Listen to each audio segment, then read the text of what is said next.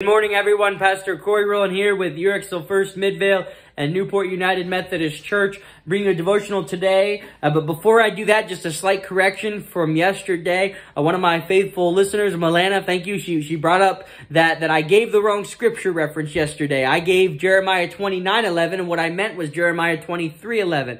So I figured that for to, that for today, I will give the Jeremiah 29, 11 reference that I made yesterday. So Jeremiah 29 verse 11 says, For I know the plans I have for you, says the Lord. They are plans for good and not evil to give you a future and a hope. And what a big amen to that verse. You know, it is not our job as Christians to know how tomorrow is going to turn out. It's not our job as Christians to plan out the future. That's in God's hands. And the Bible says that God knows those plans and he, and he has them in his hands. He, he only has plans of good for us. And the question is then, do you believe that? Now, whether we always agree with those plans, whether we think we know better, or whether, whether we know what those plans are, that's not what's important. What is important is, do you trust that he has only your best in store. Now, there is a misconception out there, and, and I've heard it more recently in today's church than in times past, where it says, oh, God wants me to be happy. God's plan for me is to be happy. Or we have those,